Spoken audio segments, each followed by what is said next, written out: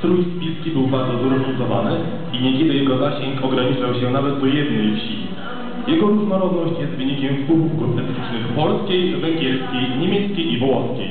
Prezentowany strój pochodzi ze wsi Krępachy, leżącej w powiecie nowotarskim.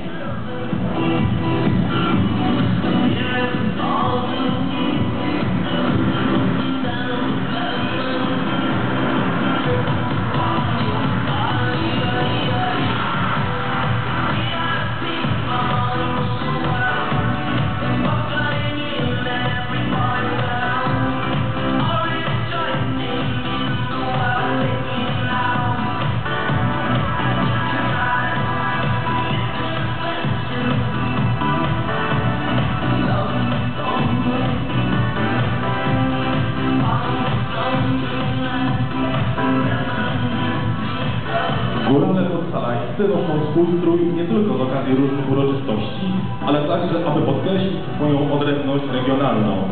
Jak często bywało, strój również określał stan cywilny właściciela. Kawaler zdobył swój kapelusz z piórem, żonatny mężczyzna już nie.